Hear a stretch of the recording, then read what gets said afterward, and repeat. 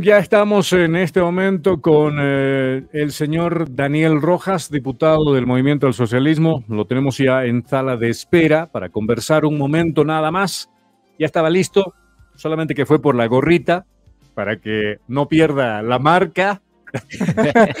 ¿Cómo está, diputado? ¿Qué tal? Un gusto verlo, diputado. ¿Qué tal? ¿Qué novedades? Muchas gracias, Douglas. Eh, saludar por intermedio suyo también, saludar a eh, José Antonio Rivas, un ex yapacanense, eh, también a todos los que nos están viendo en el búnker. Estamos acá para poder hacer análisis exhaustivo de lo que se refiere al movimiento al socialismo. Douglas. Perfecto, lo saluda también su amigo José Antonio. Un abrazo para, para vos en la capital, hermano. Adelante. Eh, diputado Jimmy, ¿cómo está? Como siempre, un placer eh, verle. Oiga, mire usted cómo acomoda la gorrita, ¿no? Bueno, un placer, querido oh, diputado. Eh, bueno, pues prestos para ya, de una vez entablar lo que significa esta conversación que, bueno, pues nos va a llevar y nos va a dar grandes luces. A ver, diputado, recientemente el Congreso, un Congreso que ha tenido ciertas particularidades, era tres, cuatro y 5 de octubre, lo que estaba agendado, tuvieron que correr con el tiempo porque no sé si por el calor que dijo en, en algún momento el diputado Arce o porque ya le, en mes del calor les quemaban las papas por el anuncio del Tribunal Supremo Electoral, las observaciones, el amparo y demás. Usted, usted dirá, lo estamos escuchando. Sí, eh, Douglas, José Antonio Rivas, evidentemente, eh, los congresos son así, ¿no? Eh, hay veces cuando se dice tres días, dura dos días, se puede trabajar por tiempo y materia, se puede acelerar el tema de llevar adelante estos temas de congreso que son de interés político, algunos que son de interés orgánico. Así son los congresos. Normalmente se lleva entre dos a tres días. Solo los ampliados son eh, de un día dentro del movimiento al socialismo. Lo que sí podemos, perdón. Sí, siga, siga, lo estamos escuchando. Lo que sí podemos eh, informar a la militancia y al pueblo boliviano que constantemente durante, eh, durante que salió la convocatoria desde un inicio, cuando convocó nuestra dirección nacional a los nueve departamentos, cuando convocó nuestra dirección nacional al pacto de unidad que componen las Bartolinas, la Única, los interculturales, CONAMAX y DOP, y ellos deciden autoaislarse para no asistir a ese ampliado nacional que se ha convocado en la ciudad de Cochabamba. Los recibidos lo tenemos, eh, Douglas, lo tenemos los recibidos que han recibido a las diferentes organizaciones sociales que componen el pacto de unidad. Y ellos no deciden participar, pero se lleva adelante este ampliado nacional donde deciden por unanimidad de que el Congreso, que se convoca según estatutos y reglamento 90 días antes, se lleve en el 3, 4 y 5 de octubre en la ciudad de Cochabamba, municipio de Chinaota, localidad de Laucaeña. Entonces, desde ahí ya nace una especie de querer conformar un paralelismo y salen algunos diputados, algunos dirigentes, traidores, diciendo de que se tiene que llevar, se va a llevar el Congreso paralelo en la ciudad del Alto, si todos nos, recordamos. Han trabajado con esa campaña de llevar adelante el Congreso en la ciudad del Alto, de que lo que era la academia era ilegítimo, ilegal, todas infinidades. Entonces, desde ahí empieza ya una guerra por parte también del órgano ejecutivo que compone a los entes que lo ha absorbido, en este caso todo el órgano judicial, y entre esos lo más resaltante está el TCP que, eh, y el Tribunal Supremo Electoral, que eh, ya constantemente ya asedian a este Congreso para querer anular. Obviamente hay testaferros que se prestaron para poder impugnar este Congreso y de alguna manera el Tribunal Supremo Electoral analiza en sus diferentes eh, sesiones, salas plenas que tenían ellos.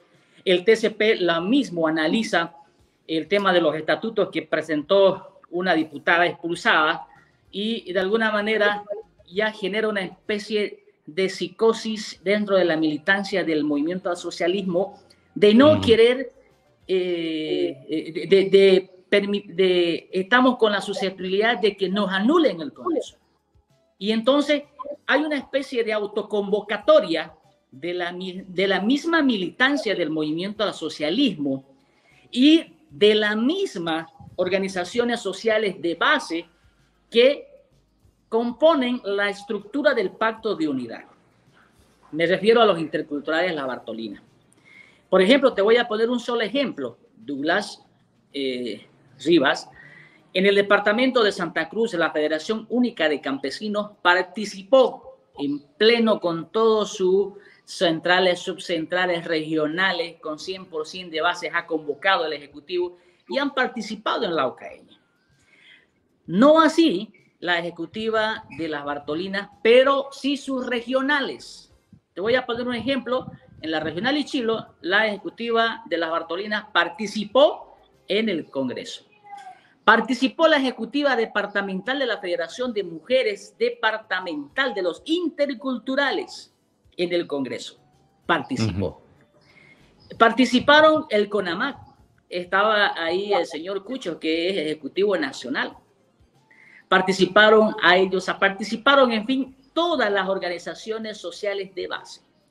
Quienes no participaron son personas vendidas, personas que se bajaron los pantalones ante el órgano ejecutivo, personajes que han defraudado la confianza de su base, que lamentablemente se puede llamar la dirigencia que compone, la máxima dirigencia que compone el Pacto de Unidad, y los paralelos que gracias a Lucho y David se ha conformado eh, dentro de nuestra estructura orgánica.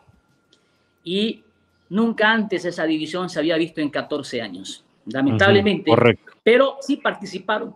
Podemos decir que eh, había más de 15 mil personas que no, ojo, Douglas Rivas, ojo, no han sido financiados por ministerios pagándole flota, transporte, alimentación.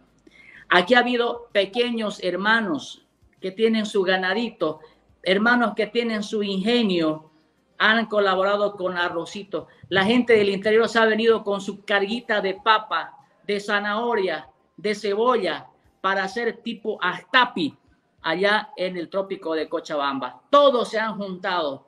Los pequeños avicultores han traído sus pollitos. los hermanos del Chaco han donado, creo, si mal no me equivoco, más de ocho cabezas de ganado eh, para que haya carne para todo el Congreso. Ha habido una fiesta democrática, Douglas, donde se ha autoconvocado la militancia y las organizaciones sociales de base. Aquí se ha legitimado el tema del Congreso porque ha participado como veedor del Tribunal Supremo Electoral con tres delegados. A pesar de eso, hemos seguido llevado adelante. Ya teníamos información de que una sala eh, de una sala constitucional del departamento de Santa Cruz estaba apurado. Miren, el jueves presenta la denuncia jueves anterior y en tiempo récord, ni siquiera por prelación han tenido estos sinvergüenzas de llevar adelante esta resolución en sala plena. Esa sala constitucional eh, resuelve de que se tiene que anular el Congreso. Ojo, aquí impugnado, presentado por una que no es militante del movimiento al socialismo, como por ejemplo la ejecutiva de las Bartolinas del departamento de Santa Cruz. Por favor, como una que no es militante del movimiento al socialismo va a querer meter su cuchara en un ente político que son propios de los masistas? Y lamentablemente, y esto va a responder esta sala, los mismos vocales que componen esta sala van a tener que responder más adelante sobre estos delitos que ellos hubieran cometido. Entonces, yo creo que esto no va a prescribir. Esa sala va a tener que responder por qué uno, una persona que no es militante del movimiento al socialismo va a querer impugnar un congreso que son propios de los masistas.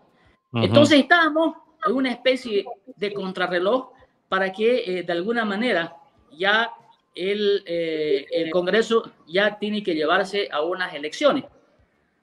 Y se terminó por uh, la modalidad de votación por aclamación, donde se ha elegido a nuestro eh, comandante Evo Morales Aima, donde se ha elegido a la vicepresidenta eh, del Movimiento al Socialismo de la Dirección Nacional, que es del Departamento de Santa Cruz de Cuatro Cañadas, y todo lo que componen más de 16 personas del directorio, eh, Douglas. Ese análisis podemos hacer, estamos luchando contra un monstruo, sigue Douglas, porque el órgano ejecutivo quiere y está en ese afán de querer anular este Congreso, pero que no se equivoquen, porque ahí lo van a tener la militancia en las calles. Duda.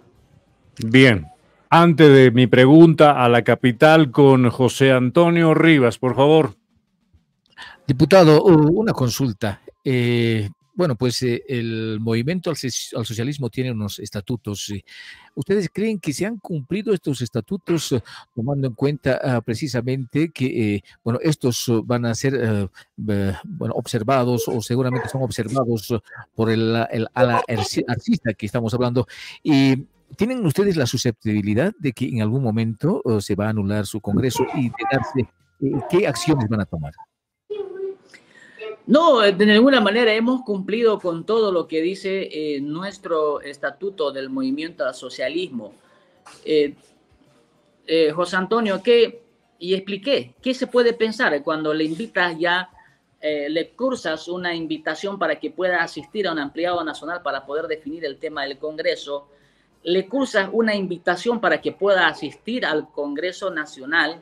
No participaron estas personas, podemos decir personas, pero no organizaciones sociales. Personas que se, de alguna manera, obtuvieron quizás un mínimo grado de, responsabilidad, de, representatividad.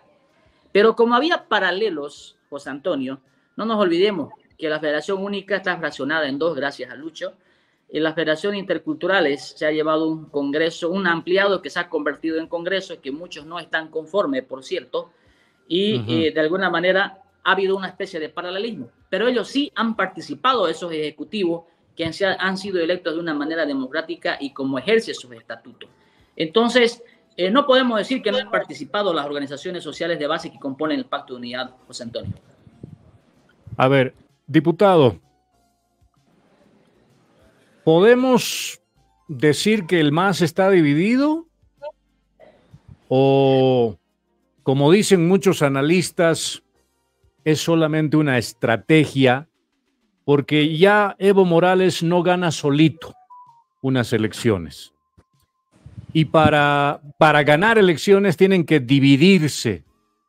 Arce por un lado, Evo por el otro, para que luego nuevamente se unan en la asamblea, hagan sana, sana, colita de rana. En este momento están en la etapa de Doña Flora y sus dos maridos, el más y sus dos candidatos. Quiero que me responda hoy, 11 de octubre del año 2023, porque va a quedar grabado y de repente el tiempo nos dé o no la razón para volver a retrotraer esta, esta misma entrevista después del 2025. Así que mucho cuidado con su respuesta. Quiero que sea honesto. A ver, eh, Douglas, nosotros que estamos en constantes reuniones con eh, nuestra dirección nacional y, la dirigencia, lo que sí tenemos claro y informar a nuestra militancia, aquí no se va a juntar el agua con el aceite. Lo que sí vamos a hacer y se está haciendo es una especie eh, de cernir de que lo bueno se quede arriba y lo malo que se vaya abajo.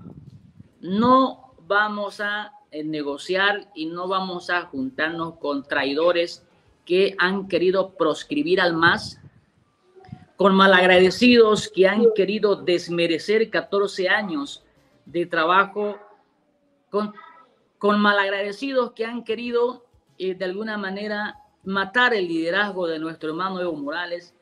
No solo matar el liderazgo, sino también ahora nos da a entender que querían tenerlo como Allende, querían tenerlo como Marcelo Quiroga Santa Cruz, o sea, lo querían ver muerto. Entonces, eh, como dice el dicho, muerto el perro, muerto las pulgas, ¿no? Entonces, es lo que querían hacer con el movimiento al socialismo. Por eso, no se va negociar ni transar con traidores. Eso, es, eso se ha tenido claro. Son mandatos de las diferentes comisiones que se han conformado en el Congreso Nacional del Movimiento al Socialismo. Es más, se ha dado expulsiones a muchos eh, colegas traidores, dirigentes traidores y la auto, autoexpulsión del mismo presidente y vicepresidente. Entonces, eh, Douglas, lo que algo sí va a quedar claro es de que jamás nos vamos a sentar con alguien que sea eh, derechizado. De eso lo dudo, Douglas. Cuando dice jamás se me viene a la mente lo de Israel y Palestina, pero eso es otro tema. ya, a ver, diputado, ya para finalizar. Las imágenes en las redes sociales nos muestran un coliseo que ni siquiera ha sido llenado. No sé si esto es evidente, pero yo tengo imágenes eh, de Cochabamba en las cuales había graderías incluso vacías. Por un lado. Por otro, el, el cabildo al cual ustedes dicen una estrategia de la derecha, se están derechizando, los cabildos son de los pititas. Cuando incluso Evo Morales participó en algún momento en un cabildo en Santa Cruz hace tiempo atrás, donde mencionan que es una expresión máxima de la voluntad del pueblo, el cabildo. ¿Por qué cambian tan rápido los criterios? Me lo explicará. Pero el cabildo, por lo menos por lo que sé, va a tener mucha cantidad de gente. Es más, están planificando que ese día incluso sea feriado. Diputado, no se me vaya, por favor, retorne lo más rápido posible. Va a ser feriado el 17. Eso quiere decir que en números, en imagen visual, en contenido comunicacional, visualmente, Arce Catacora, este Cabildo, la Central Obrera Boliviana, van a jalar más gente que ustedes, van a llevar más agua a su molino. ¿Cuál es su criterio? A ver, primero vamos a lo, eh, a lo primero, Douglas, te desmiento lo que decías que las graderías estaban vacías. Cuando ingresamos al Congreso había más de 8 o 10 anillos de seguridad donde se ha decomisado bombas molotov, dinamitas, eh, artefactos explosivos, eh, Douglas. Entonces, ¿con quiénes estaban reuniendo ustedes? ¿Con los de Hamas o con sus eh, militantes? Oye, querían sabotear el Congreso, Douglas. Querían sabotear, querían echarse gases, pero gracias a esos 10 anillos de seguridad, la gente esperaba afuera y había un estricto control la gente uno por uno ingresaba al Congreso. Entonces, cuando ya el comandante Evo eh, inició su acto, obviamente que adentro vas a pillar las graderías vacías, pero la gente afuera, un tumulto de gente que estaba esperando ingresar al Coliseo. Entonces, pero si ves las imágenes, Douglas, a partir de las 12 del mediodía para allá, ese coliseo reventaba y la gente afuera seguía queriendo ingresar y ya no había espacio, un coliseo chico, ¿no? Entonces, esa es la respuesta, te desmiento. Había hartísima gente. Antes de ir a, otro tema, diputado, diputado, antes de ir a otro tema, ah, precisamente, permítame, eh, usted habla que se han decomisado bombas, molotov, cuchillos, ametralladoras, todo lo que se ha decomisado. ¿Por qué no se ha, por qué no se ha presentado a los que estaban portando esto? ¿Por qué no se los ha identificado y, e, mostrado a la prensa para que esto sea un poco más creíble? Está, está con las denuncias, eh, José Antonio está con las denuncias en la policía local, lo, están investigando los caballeros. Lo que pasa es que el gobierno no quiere dilucidarlo, no quiere sacarlo a la luz pública, pero sí lo ha hecho los otros medios, las redes sociales, eh, los medios de comunicación locales, lo han, eh, lo han transmitido, eh, José Antonio. Entonces, quienes no quieran mostrarlo así como lo hacen los demás, en los demás los, ministros con su, número aquí de, de, preso o algo, no lo presentan a los medios de comunicación, no lo hicieron. Entonces, lo que sí es cierto, están las imágenes, se le ha decomisado eh, artefactos, se le han aportado eh, armas punzocortantes. Entonces, ha habido eh, algunos sujetos que intentaban realmente sabotear el Congreso. ¿Continúo? Sí, adelante, por favor, lo estamos escuchando atentamente. Ya. En eso, en, el primer plano te desmiento eso de Douglas, de que si el coliseo estaba lleno. Quizás vos tienes una imagen eh, al inicio, donde sí estaban controlando uno por uno para ingresar. En el otro punto, en el tema de los cabildos, tenemos que separar lo siguiente, Douglas. Cuando la constitución política establece y da una legitimidad al tema de los cabildos, pero son para Muy bien, gracias. Retornamos nuevamente con nuestro invitado Daniel Rojas. Confirmamos, ¿nos está escuchando bien? Ahora sí, diputado. Perfecto. Continuemos con su respuesta, por favor. Eh, atentos a su a la continuación. Con usted, por favor, adelante. Ya, mencionábamos, Douglas, el tema de los cabildos que está establecido obviamente en eh, nuestra constitución política del Estado, que es un derecho ciudadano para hacer cualquier tipo de reivindicación social, ¿no? Eh, Evo evidentemente participó en cabildos que no eran políticos, eh, Douglas, eran convocatorias del Pacto de Unidad de Organizaciones Sociales, ojo, ¿no? En el movimiento al socialismo, en nuestros reglamentos y estatutos, no va a pillar el término cabildo en ningún artículo del movimiento al socialismo. Es más, quienes quieren, quienes están convocando este cabildo el 17 de octubre son personajes militantes, eh, eh, son personajes que no son militantes del movimiento al socialismo, dirigentes mariconazos que eh, se renunciaron a su militancia el año 2019 porque tenían miedo de que Yanini los meta preso o que Arturo Murillo los meta preso renunciaron a su militancia. Hoy por hoy son ellos quienes están convocando. Dirigentes que supuestamente son afines a Lucho, que son partidarios de UCS o de otras agrupaciones ciudadanas, pero menos del movimiento al socialismo.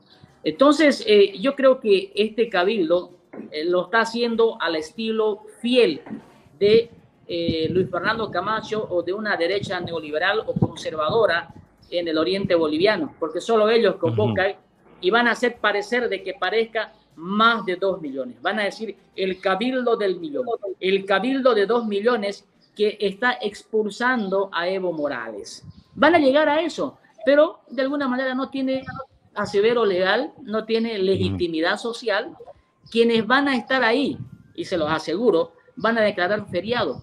Van a ser los más de un millón de funcionarios públicos que tiene el Estado que están obligando para poder participar ese día en el alto el 17 de octubre. Así que eh, no, eh, no nos preocupa Diputado, y de alguna manera te, pregunto, que ellos puedan ¿por qué, ¿por qué declarar feriado el 17 de octubre? ¿Por qué esa intención? ¿Se recuerda algo especial por el feriado?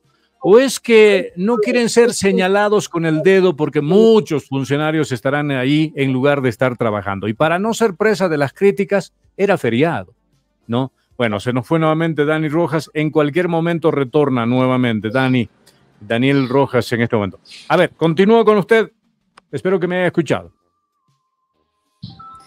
La verdad, tendríamos que preguntárselo a, a este gabinete de ministros que eh, de alguna manera quieren eh, declarar feriado eh, ese día, ¿no? El día de ayer o antes de ayer decían que de alguna manera nos vamos a reunir el Consejo de Ministros para ver la posibilidad de declarar feriado el 17 de octubre, supuestamente diciendo el, día de la revolución, si mal no me equivoco. La verdad no entiendo qué feriado más se viene este 17.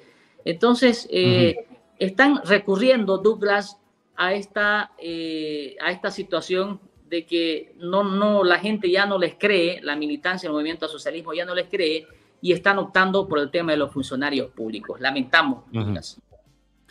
Diputado, última pregunta. Usted ha dicho de que va a haber problemas en las calles, la amenaza de conflictuar el país si Evo Morales no es su candidato, si el tribunal los frena. ¿Ustedes tienen un plan B si Evo Morales es frenado legalmente para ser candidato? Porque se le viene una demanda por, ¿cómo se llama esta palabrita cuando se meten con eh, menores de edad? Ah, pedofilia. Pero estoy haciendo la misma, la misma, el más mismo lapsus que hizo Evo Morales, porque se hizo a que no conocía la palabra. ¿Qué pasa si Evo Morales es eh, inhabilitado por pedofilia? Le recalco, eh, Douglas, el movimiento al socialismo, eh, quizás al margen de vivir su peor momento por parte de malagradecidos que hoy están en el gobierno, tiene que luchar contra diferentes órganos del Estado que se han sometido al órgano ejecutivo, el Tribunal Supremo de Justicia, el Tribunal Constitucional Plurinacional, en fin, el Consejo de la Magistratura, todos ellos. Eh, al verse derrotados este 17 de octubre, nuevamente van a recurrir a esta supuesta eh, denuncia de pedofilia. Son, eh, yo le puedo decir, acusaciones temerarias que quieren hacerlo legal, porque una mentira vertida diez veces se convierte en verdad. Entonces, van a buscar. Pero de vernos en las calles, Douglas, el, el MAS y PSP, el Movimiento al Socialismo, instrumento político por la soberanía de los pueblos, no es un instrumento político de los ricos. Es un instrumento político de la gente humilde, de la gente más humilde, donde ha tenido respuesta a 14 años de gobierno. Ha demostrado este proyecto político del proceso de cambio que eh, de alguna manera ha escuchado a la gente más humilde. Quitarle ese Perdón, perdón. Me parece interesante lo que dice, diputado. Es decir, que ustedes son el gobierno de los pobres. ¿Qué pasa si ese pobre se vuelve rico? Deja de ser militante del movimiento al socialismo. Punto uno. ¿Ustedes quieren seguir manteniendo pobres a los pobres para tener militancia? Tendríamos que clasificar hasta qué, eh, hasta qué monto podríamos considerar pobre y hasta qué monto podríamos, desde qué monto podríamos considerar la clase rica. Lo que sí eh, sabemos que en 14 años se ha sacado a mucha gente de la extrema pobreza, se ha reducido la extrema pobreza con el proceso de cambio y quien depende de uno pues no es el gobierno que te va a dar la plata que te vuelvas rico, ¿no? Pero te tiene que dar todas las condiciones, la seguridad de, de un Estado para que tú puedas invertir como empresario, como pequeño microempresario.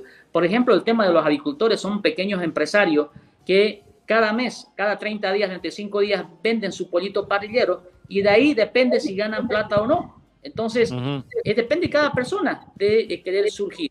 De alguna manera, esa persona se acuerda que el gobierno le dio todas las condiciones para poder sobresalir y ser un pequeño empresario, obviamente va a estar agradecido con este gobierno. Entonces, eh, es, una, es un partido de la gente más humilde que de alguna manera va a reclamar por qué se le está cercenando este instrumento político y por qué quieren inhabilitar a Evo Morales. El miedo para que Evo Morales entre no solamente había sido de la derecha boliviana, sino también es de la derecha eh, eh, neoliberal internacional que está en el país del norte, que el único objetivo de, de nuestro país es la extracción de nuestros recursos naturales. Douglas, entonces pero acaso no están extrayendo nuestros, perdón, acaso no están extrayendo nuestros recursos naturales otros extranjeros, Rusia, China, por ejemplo, que también no son extranjeros. Ellos, no nos, también. ellos no nos, no, nos ponen las condiciones políticas como lo ha hecho Estados Unidos. Rusia, China no nos dice quién va a ser tu Pero ¿cómo les van a poner, cómo les van a poner condiciones políticas a ustedes si son aliados? O sea, ya más condiciones políticas no hay o, ustedes no son aliados de Rusia o no son aliados de China. y esa gorrita, por ejemplo, permítame, diputado, esa gorrita no, no nos dice acaso de que hay una cierta afinidad con China. A ver, Douglas, Estados Unidos, ya antes del año 2005, al margen de extraer nuestros recursos naturales, ellos decidían sobre el rumbo político de nuestro país. Nos decían quién iba a ser fiscal general del Estado, comandante general de las Fuerzas Armadas, policía boliviana, todos ellos. Pero ¿acaso viene aquí Rusia, nos dice, este va a ser comandante? ¿Acaso viene China, nos dice, este va a ser fiscal general? No, no permitimos intervencionismo político extranjero. Somos autónomos en, las decisiones políticas de nuestro país. Por eso es que hoy por hoy se deshizo del imperio norteamericano con la tesis del sometimiento a, los países. Diputado, ¿por, qué tan soberanos nosotros si la soberanía eh, se viene abajo? ¿La seguridad quién la maneja? Irán y China. ¿Somos soberanos, diputado? Yo me refiero a la soberanía política, eh, Douglas. Me refiero, no lo mismo que Estados Unidos. Si vos querés comparar eh, China con Estados Unidos, la diferencia de Estados Unidos es que ellos no direccionaban. La DEA, ¿por qué creen que estaban acá en Bolivia, en el trópico de Cochabamba? Y al margen, capacitaba dirigentes para que nos hagan pelear y de alguna manera Estados Unidos libremente extrae nuestros recursos naturales. Entonces, China de alguna manera no interviene en el tema político, no nos dice qué hacer o qué no hacer, a qué presidente poner, a qué policía fiscal general, no. nuestras decisiones políticas las hacemos de los bolivianos para los bolivianos. Bueno, última pregunta. desde la capital del país. Adelante, por favor. Diputado, eh, dígame, a ver, eh, bueno, pues eh, yo quiero reiterarle precisamente esta, esta consulta que tengo. En caso de que, bueno, pues Evo Morales sea inhabilitado, ¿qué plan B tiene? ¿Ustedes van a seguir como movimiento al socialismo o simplemente van a sumarse al proyecto de Lucho Arce? ¿O tienen otro candidato? Algo, algo por ahí. José Antonio, nuestro instrumento político no ha venido para estar de paso. El MAS y PSP va a quedar de generación en generación, se va a heredar de nuestros hijos y los hijos de nuestros hijos. Ese es nuestro objetivo político. Entonces, eh, que se inhabilitan a Evo Morales, han dado globos de ensayo, eh, José Antonio. No nos olvidemos el, TCP eh, a través del ministro de Justicia, que ha salido a decir los anteriores meses. ha salido a decir diputado, si me permite. hagamos una, eh, a ver, un ensayo. Digamos, ya, lo han inhabilitado a Evo. Se ha hablado de que están enfrentándose contra un poderoso, precisamente, que eh, maneja todos los estamentos del Estado. Lo han inhabilitado a Evo. ¿Cuál es el paso que ustedes van a dar? O sea, ¿tienen un plan B? ¿Tienen otro candidato? O sea, eh, quiero que Cito me explique, por favor. Nos van a ver en la calle. A la gente humilde lo van a ver en la calle vamos a hacer respetar todos nuestros derechos políticos, sociales, José Antonio. Inhabilitan a Evo Morales y, ya van a ver qué es lo que sucede. Han intentado. Y ¿Qué va a suceder? ¿Qué va a suceder? ¿Qué va a suceder? Porque estoy acá como en eso, como eso, como, como chicos en el colegio. ¿no? O sea, si, jodes, nos vemos a la salida allí. Por, yo por lo menos decía, ¿qué va a pasar? Dímelo ahora, de frente, aquí, aquí, ahora. ¿Para qué esperar hasta la salida? ¿Qué va a suceder, eh, diputado? Eh, Douglas, José Antonio, nos van a ver en las calles a la militancia y vamos a ver si somos pocos o somos hartos. Y, vamos a ver si de alguna manera estos eh, miembros del TCP eh, van a seguir haciendo sus chanchadas como normalmente lo siguen haciendo. Un TCP al, a la carta de la mesa, un TCP prepago. Entonces, la voz del pueblo, las movilizaciones del pueblo puede más que todo eso, eh, querido Douglas José Antonio. Muy bien. Bueno, gracias, diputado. No quiero preguntarle más cosas todavía para, para, seguirlo, para seguirlo teniendo en los, en los próximos programas. Lo que pasa es que siempre, algunas veces les hago preguntas difíciles y después me dejan en visto. ¿Me entiendes? No, no, no, no. Douglas ya está con la cuarta entrevista, si mal no me equivoco. Sí, sí, sí. Las preguntas siempre han sido ácidas y es la que siempre nos gusta responder porque muchos periodistas no nos preguntan lo que la militancia dudosa, los aquellos que no están seguros todavía, eh, necesitan responder. Y de alguna manera las preguntas tuyas, bueno, resuelven las demás otras dudas que tiene nuestra militancia y el pueblo boliviano. Para mí es gustoso. Nunca te he dejado en visto, Douglas, y siempre lo vamos a poder asistir a. No, es, por eso me agrada, por eso me agrada. Yo quiero dejar esto en un punto y aparte para una próxima. Después del cabildo, después del cabildo, vamos a hablar nuevamente con usted. Un abrazo, diputado, gracias por su buena onda. Gentileza agradecida, como siempre. Dani Rojas. Buenos días, Dios me lo bendiga. Hasta luego, José Antonio